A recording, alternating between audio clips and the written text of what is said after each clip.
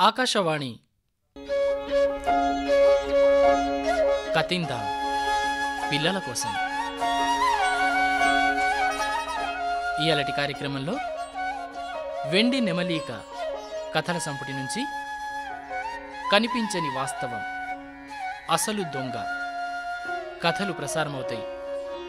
రచన doctor Siri. ఈ కథలు చెబుతున్నది దామెర పద్మారెడ్డి. ముందుగా లేనుండ్రి. కనిపించని వాస్తవం కథ. హేమంత రాజ్యాన్ని సునాథుడు ఎంతో ధర్మబద్ధంగా పరిపాలించేవాడు. ఒకనాడు సభ జరుగుతూ ఉండగా ఇద్దరు వ్యక్తులు అక్కడికి వచ్చారు. వారిలో మొదటివాడు ఒక వ్యాపారి రెండోవాడు చిల్లర దొంగ. మహారాజా నా ఇంట్లో ఉన్న బంగారమంతా ఈ దొంగ ఎత్తుకుపోయాడు. వీణ్ణి శిక్షించి నా బంగారం నాకు ఇప్పించండి అని వేడుకున్నాడు వ్యాపారి. ప్రభూ నేను నిజంగా దొంగనే. పుట్టకోటి కోసం చిల్లర దొంగతనాలు చేస్తాను తప్ప ఇళ్ళు దోచుకోవడం నాకు చేత కాదు అని రాజుతో మొరపెట్టుకున్నాడు దొంగ. అయితే ఆ రోజు రాత్రి ఆ వ్యాపారి ఇంటి ముందు ఎందుకున్నావు? అని ప్రశ్నించాడు మహారాజు సునాథుడు. ప్రభూ ఆ రోజు దొంగతనం చేయడానికి నాకేమీ దొరకలేదు. ఒకవైపు ఆకలితో కడుపు మాడుతోంది. ఈ వ్యాపారి ఇంటి వద్దకు వచ్చేసరికి నాకు శక్తి సన్నగిల్లింది. శోష వచ్చి పడిపోయిన వాణ్ణి అలాగే ఉండిపోయాను. తెల్లారి లేచేసరికి మీ భటులు వచ్చి నన్ను బంధించి తీసుకొచ్చారు. నేను చెప్పిందంతా నిజమే ప్రభూ అన్నాడు ఆ దొంగ నీరసంగా. మహారాజా ఆ దొంగ మాటలు నమ్మకండి. వీడి వెనుక ఇంకా చాలా బలగం ఉండి ఉంటుంది అన్నాడు మహామంత్రి. ఎముకలకు చర్మం అంటుకుపోయి దీనంగా కనిపిస్తున్న ఆ దొంగను చూసేసరికి సునాథుడికి జాలి వేసింది. మంత్రివర్య ఇతను దొంగ అని మనకందరికీ తెలుసు. ఆ విషయం అతనే స్వయంగా ఒప్పుకున్నాడు. దొంగతనం జరిగిన రోజు రాత్రి తన ఇంటి ముందు ఆ దొంగ ఉన్నాడని వ్యాపారి చెప్పిన మాట కూడా నిజమే. కానీ ఒక్కోసారి మన కళ్ళే మనల్ని మోసం చేస్తాయి. కళ్ళకు కనిపించేదంతా నిజమని భావించకూడదు. సరి అయిన సాక్ష్యాధారాలు లేకుండా శిక్ష విధించకూడదు. అంటూ తన సేవకులను పిలిచి ప్రాణం పోకముందే అతని ఆకలి తీర్చండి అని ఆజ్ఞాపించాడు మహారాజు. అప్పటికప్పుడే రాజసేవకులు వెళ్ళి ఘుమఘుమలాడే వంటకాలతో నిండి ఉన్న పళ్ళాలు తీసుకొచ్చి అతని ముందు పెట్టారు. భోజనం చేయమన్నట్టుగా మహారాజు సైగ చెయ్యగానే ఆ దొంగ భయపడుతూనే తినడం ప్రారంభించాడు. అతను భోంచేసి ఎన్ని రోజులైంది అన్నది ఆబగా అతను తినే విధానమే చెబుతోంది. తృప్తిగా భోజనం చేసిన ఆ దొంగ చేతులెత్తి రాజుగారికి నమస్కరించాడు. అతని కళ్ళల్లో నీళ్ళు తిరిగాయి. ఈ దొంగతనం నువ్వు చేయలేదు కదూ? అడిగాడు సునాథుడు. లేదు ప్రభూ అన్నాడు దొంగ. సరే ఇక ముందు చిల్లర దొంగతనాలు కూడా చెయ్యొద్దు. కష్టపడి బ్రతుకు. ఇక నువ్వు వెళ్ళొచ్చు అని పంపించాడు సునాథుడు. చేతికి దొరికిన దొంగని మహారాజు అలా పంపించి వేయడం వ్యాపారికి మంత్రికి అస్సలు నచ్చలేదు. ప్రజలు మాత్రం రాజుగారి దయాహృదయానికి హర్షధ్వానాలు చేశారు. ఆ మధ్యకాలంలో పెచ్చు పెరిగిపోయిన దొంగతనాలను అరికట్టడానికి సునాథుడు గూఢచారులను నియమించాడు. కొద్ది రోజుల్లోనే వాళ్ళు అతి ముఖ్యమైన సమాచారం తీసుకువచ్చారు. మహారాజా మన పొరుగునున్న కుంతల రాజ్యంలో ప్రజలను దోచుకుంటున్న ఓ దొంగల ముఠాను తెలివిగా బంధించి ఆ రాజుగారు వాళ్ళని తమ రాజ్యం నుండి తరిమికొట్టారు. దిక్కుతోచని ఆ ముఠా మన రాజ్యంలో ప్రవేశించి ఇక్కడ దొంగతనాలు ప్రారంభించారని మాకు దొరికిన నిదర్శనాలను బట్టి తెలుస్తోంది ప్రభు అంటూ ఓ గూఢచారి సెలవిచ్చాడు. మహారాజు తీవ్రంగా ఆలోచించి కొంతమంది సైనిక సిబ్బందిని తీసుకుని రాత్రి సమయాల్లో మారువేషం వేసుకుని రాజ్యంలో సంచరించసాగాడు. అలా తిరుగుతున్న సమయంలో ఓ రోజు రాత్రి ఒకచోట ఏదో గొడవ జరుగుతుంటే సునాథుడు అటువైపు వచ్చాడు. నలుగురు ముసుగు మనుషులతో ఒక వ్యక్తి ధైర్యంగా పోరాడుతున్నాడు. వారి మధ్య పోరాటాన్ని కొంచెంసేపు ఆసక్తిగా తిలకించిన సునాథుడు ఆజ్ఞాపించగానే సైనిక బలగం ముందుకొచ్చి ఆ ఐదుగురిని బంధించారు. ఆ మరునాడు వాళ్ళని రాజుగారి సమక్షంలో హాజరుపరిచారు సైనికులు. సభలోకి వచ్చిన వాళ్ళని చూసి ఆశ్చర్యపోయాడు సునాథుడు. ఎదురుగా ఉన్న ఆ నలుగురు ముసుగు మనుషుల పక్కన ఉన్నవాడు ఎవరో కాదు. ఆ రోజు నిండు సభలో తను దొంగను కాను అని చెప్పిన వ్యక్తి అతను. మహారాజా నేను చెబితే నమ్మలేదు. ఇతని వెనక ఉన్న ముఠా సభ్యులను మీ కళ్ళతో మీరే చూశారు కదా? అన్నాడు మహామంత్రి. మహారాజు పక్కపక్క నవ్వాడు. మంత్రివర్య ఇప్పటికీ నేను అదే మాట చెబుతున్నాను. అతను నిర్దోషి. వాళ్ళు నలుగురు పొరుగు రాజ్యం నుంచి వచ్చిన ముఠాలోని దొంగలు. మన రాజ్యంలో అరాచకాలు చేస్తున్న ద్రోహులు అన్నాడు కోపంగా. నిర్దోషి అయిన వ్యక్తి ఆశ్చర్యంగా చూస్తూ అవును మహాప్రభు మీరు చెప్పినట్టు నేను దొంగతనాలు మానేశాను. కష్టపడి బ్రతుకుతున్నాను. నిన్న రాత్రి నాకు ఎదురైన వీళ్ళని అనుమానించి ప్రశ్నించాను. నేను మీ బంటునని భావించి నాపై తిరగబడ్డారు. వీళ్ళు దొంగలేనని గ్రహించి ఎలాగైనా పట్టుకుని మీకు అప్పగించాలని పోరాడాను అంటూ వివరించాడు ఆ వ్యక్తి. నీ పేరేంటి? అడిగాడు మహారాజు. వీరయ్య ప్రభు వినయంగా చెప్పాడు ఆ వ్యక్తి.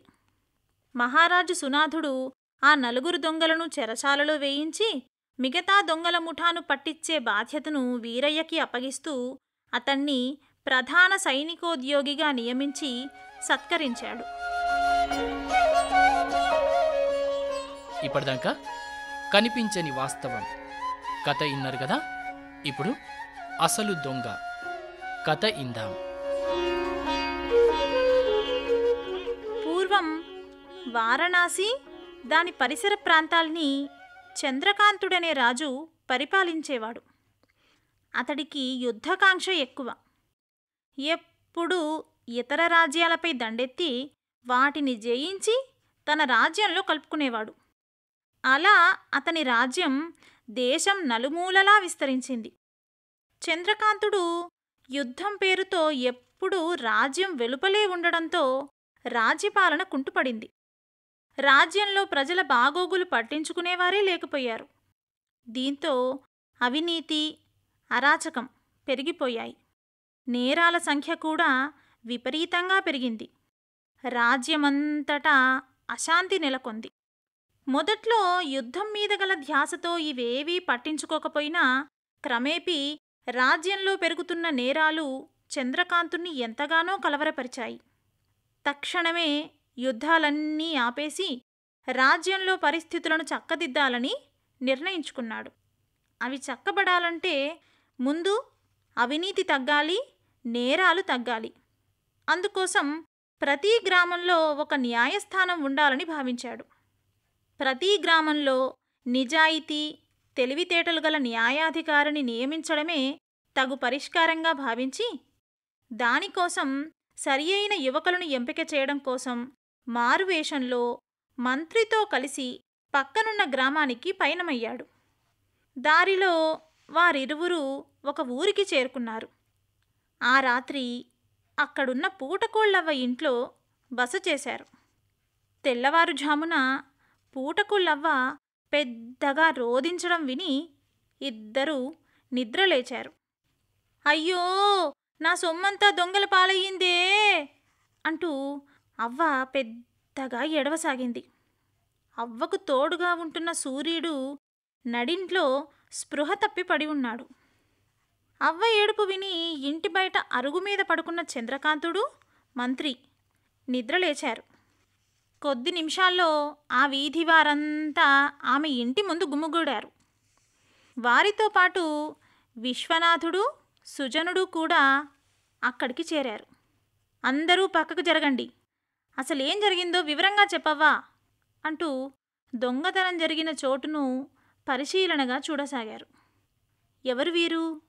పక్కనున్న ఓ గ్రామస్థుణ్ణి అడిగాడు చంద్రకాంతుడు. వీరిరువురు గొప్ప న్యాయశాస్త్ర ప్రవీణులు.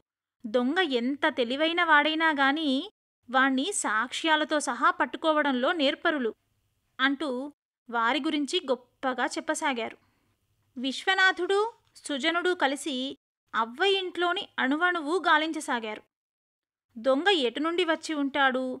ఎలా వెళ్ళి ఉంటాడు? అసలు వచ్చింది ఒక్కడేనా?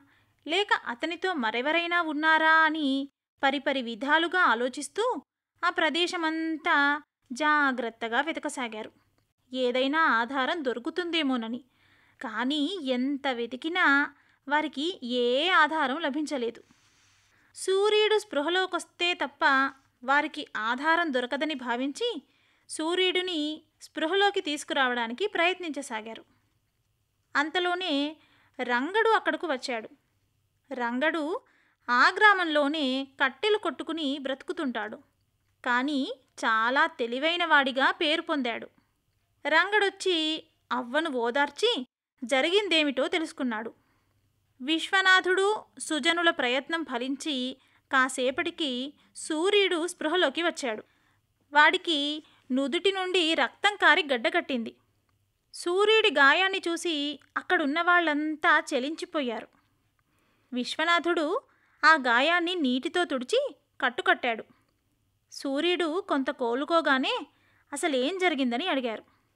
ఎప్పట్లాగే రాత్రి అవ్వ పడుకున్న తర్వాత ఇళ్ళంతా ఒకసారి చరిచూసుకుని గడియ వేద్దామని తలుపు దగ్గరకొచ్చాను. వాకిలి ముందు ఎవరో తిరుగుతున్నట్లనిపిస్తే బయటకు వెళ్ళి చూసొచ్చాను. అక్కడ ఎవ్వరూ కనిపించకపోవడంతో లోపలికొచ్చి గడివేసి దీపం ఆర్పుదామని వెనుతిరగ్గానే ఎవరో వెనుక నుండి నా మీద దాడి చేశారు. వెంటనే స్పృహ తప్పి పడిపోయాను అని చెప్పి గట్టిగా ఏడ్చాడు. ఇది ఎవరో తెలిసిన వారి పనే అయ్యుంటుంది. ముందు నుండి దాడి చేస్తే సూర్యుడు వారిని చూసి గుర్తుపడతాడేమోనని భయపడి వెనక నుండి దాడి చేశారు. దొంగ ఎంత తెలివైన వాడైనా ఏదో ఒక ఆధారం వదలకపోడు. అది చాలు వాణ్ణి పట్టుకోవడానికి ముందు నీకు వైద్యం అవసరం అంటూ సూర్యుడిని లేవదీశాడు సుజనుడు. రంగడు కూడా సుజనుడికి సాయం చేశాడు. వారిరువురి సహాయంతో లేచి నిలుచున్న సూర్యుడి చెంపపై ఉన్న ఫలాన ఒక్కటి పీకాడు రంగడు. ఈ పరిణామానికి అక్కడున్న వాళ్ళంతా నిశ్చేష్టులైపోయారు. తిన్నింటి వాసాలే లెక్క పెడతావా దొంగిలించిన సొమ్ము ఎక్కడ దాచావో చెప్పు. లేకపోతే ప్రాణాలతో మిగిలవు. అని గట్టిగా అడిగాడు రంగడు. ఆ దెబ్బకు సూర్యుడు తను రాత్రి దొంగిలించిన సొమ్మును బయటకు తీశాడు. దీంతో అక్కడున్న వారంతా ఆశ్చర్యపోయారు. సూర్యుడే దొంగతనం చేశాడంటే నమ్మలేకపోయారు. సూర్యుడు తన తప్పు ఒప్పుకుని క్షమించమని అవ్వ కాళ్ళ మీద పడ్డాడు. చంద్రకాంతుడు రంగన్ని సమీపించి అసలు సూర్యుడే దొంగని నువ్వెలా కనుక్కున్నావు? అని అడిగాడు. ఆశ్చర్యాన్ని లోపల దాచుకుంటూ. దొంగ సూర్యుడిని వెనక నుండి దాడి చేశాడని వాడు చెప్పాడు. తల వెనక నుండి కొడితే నుదుటి నుంచి రక్తం ఎలా వస్తుంది? అంటే ఇక్కడికి ఇంకెవ్వరూ రాలేదు. వాడే దొంగతనం చేసి ఆ నేరం తెలియకుండా ఉండడం కోసం ఇలా దెబ్బ తగిలించుకొని అందరినీ నమ్మింపజేశాడు అని అన్నాడు. చంద్రకాంతునితో సహా అక్కడున్నవారంతా రంగడి తెలివిని మెచ్చుకున్నారు. చంద్రకాంతుడు తన మారువేషం తీసి తానెవరో అందరికీ తెలిపి రంగణ్ణి ఆ ఊరికి న్యాయాధికారిగా నియమించాడు. ఆ రోజు నుండి ఆ గ్రామంలో నేరాలు క్రమేపీ తగ్గిపోయాయి. ఇప్పటిదాకా అసలు దొంగ కథ ఇన్నరు. ఈ కథలు చెప్పింది దామెర పద్మారెడ్డి. రచన డాక్టర్ సిరి. ఇది ఇయలటి కతిందాం కార్యక్రమం.